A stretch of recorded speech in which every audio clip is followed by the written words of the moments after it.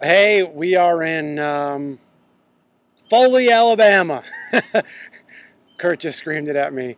So we're here in Foley, which is uh, like the, just the town next to Gulf Shores, Alabama. So we're just uh, about 10 miles off the Gulf of Mexico. The reason we're in Foley is because this is where the hotel is. Check out how cool this uh, this field is. So beautiful. It's like right behind the hotel.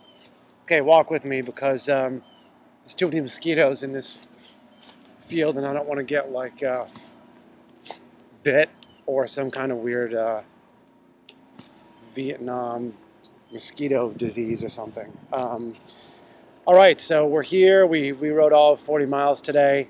It's actually a pretty windy day, so we um, took it real slow, took it real easy. Our aim was to get back here to the hotel and rest, and um, we actually forgot the video camera, so we don't have any video to show you from the ride, which is why I'm walking around right now and making my own video um, with my laptop. So, getting real excited for Joanne to join us in New Orleans on Saturday we're hoping to put together a, our first restaurant meal at a, at a place in New Orleans on Saturday night. Uh, our friend Joe Scully just arrived from LA. And another friend of ours, uh, that's not him, Diarmuid Quinn is about to show up, also from LA. So we'll have four riders on the road tomorrow for the first time.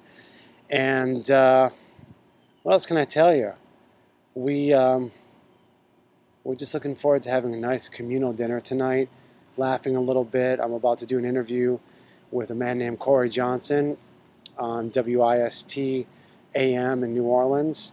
Um, I'm, I'm going to be on a show today and tomorrow uh, promoting Pablove Across America and letting them know what we're going to be doing while we're in New Orleans.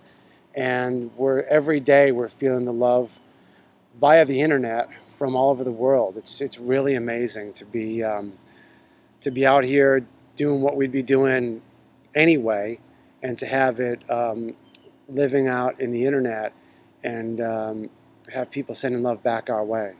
It's a pretty unique situation. I mean, five years ago we probably couldn't have done all this with this little laptop camera and uh, and some Wi-Fi.